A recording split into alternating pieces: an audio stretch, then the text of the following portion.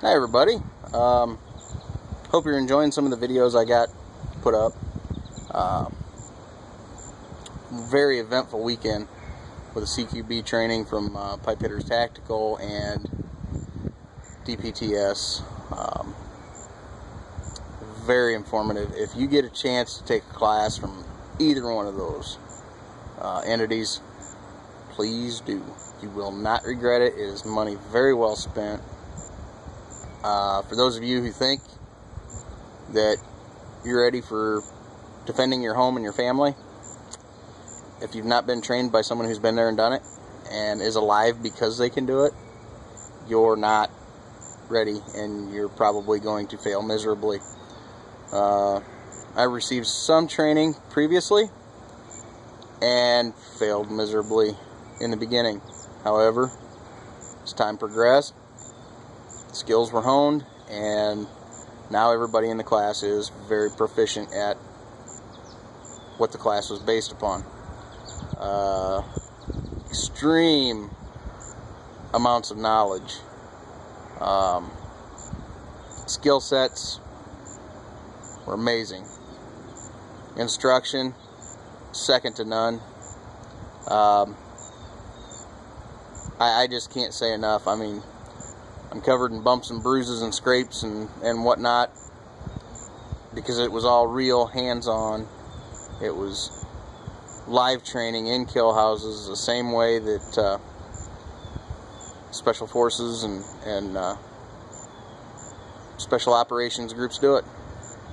Um, amazing stuff. If you've not listened to me up till now, go to YouTube, check out Kelly Allwood look at his videos. Um, Pipe Hitters Tactical. Look at their videos. Uh, search for uh, in your YouTube bar, your YouTube search for uh, DPTS training that you're not going to find. There, there is no rival for this training. I mean, it's just unbelievable, unbelievable. But um, now on to the next part of this video.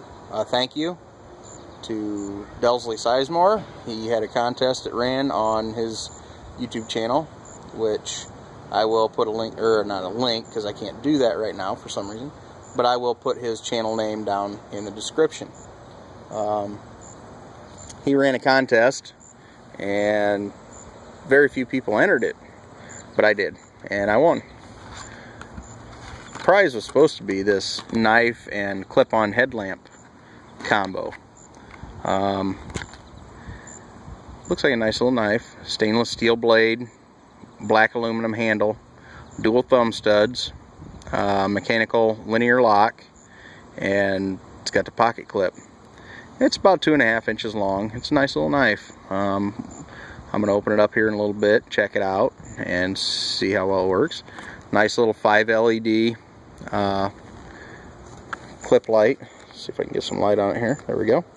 Um, says it's five white LEDs. Uh, hat clip for hands-free operation. Push button on and off. Uh, ANSI output of 10 lumens. Runs about three hours, it says. Uh, beam distance up to 15 meters. So we'll check those out. He also threw in a Syntec five function multi-tester, which was a bonus. I mean, these are these are nice.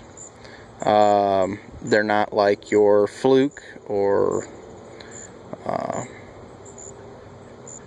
the the other high-end name brand testers, but these are these are good. These are good quality tester. Uh, gets everything done that I need in the garage. Uh, I've I've had a few of these, and for some reason, I end up a lot of times I'll put it in the truck and take it if somebody breaks down or whatever, and I, will do tests out there or something, and they end up, hey, that that's a nice little tester, and for for you know all intents and purposes, I sell it to them. Um, but this is a nice one. I'll keep a hold of this one. Um, we'll go from there you can you, just there's a lot of things you can do with this so Um, we're to check it out. See, most of us know what these do, but I want to check the quality of these, this little combo here. Um, looks like it came from, distributed by Rural King, made in China, but we'll, we'll see how they work. I'm sure they're to do fine. Um, I just want to check it out. Been getting really into the knives here lately, as everybody knows. And I, I like to see what everybody else is doing. Just to see, you know, what is and isn't out there. So that I can, you know, improve upon or take the idea that I have and bring it to be. So, all right, there's what we've got there.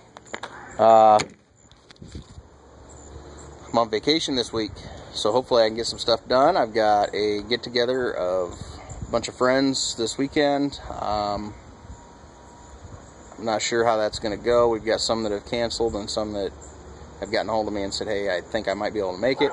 It's going to be great. So we'll see, and everybody have a good, safe Monday.